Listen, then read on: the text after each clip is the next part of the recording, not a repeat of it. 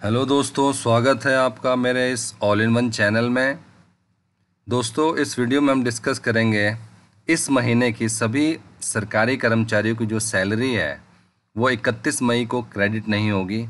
एक नया office memorandum आया है, जिसके थ्रू ये बताया गया है कि इस मई 31 मई को जो है, आपको सैलरी क्रेडिट नहीं हो पाएगी। तो चलिए दोस्तों, देखते हैं वो ऑफ़िस मेमोरेंडम और किस कारणवश जो है सैलरी जो है इकतीस को नहीं आएगी? दोस्तों, अगर अभी तक आपने इस चैनल को सब्सक्राइब नहीं किया तो लाल बटन दबा के सब्सक्राइब कीजिए, जिससे कि आने वाली हर वीडियो का अपडेट आपके पास मिलता रहे। तो चलिए दोस्तों, देखते हैं तो मेमोरेंडम ये देखिए आप,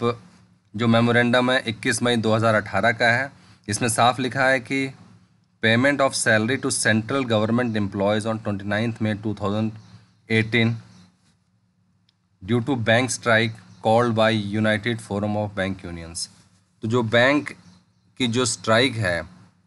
तीस और इकतीस को, उसकी वजह से, उस चीज़ को ध्यान में रखते हुए, ये निर्णय लिया गया है कि इकतीस मई को जो सैलरी ट्रांसफ़र होती है, वो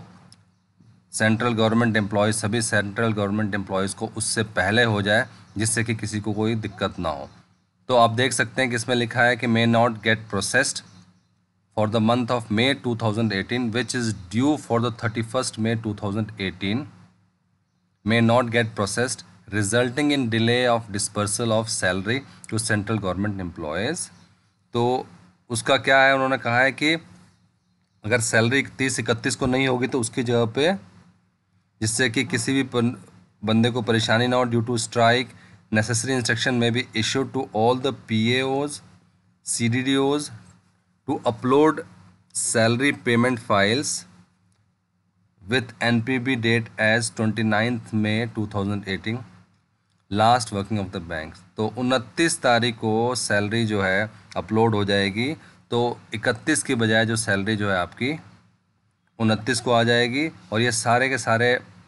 अथॉरिटीज़ जो भी हैं, उन सबको जो है latest by twenty fifth May two thousand eighteen सबको पहुँच गई है, जिससे कि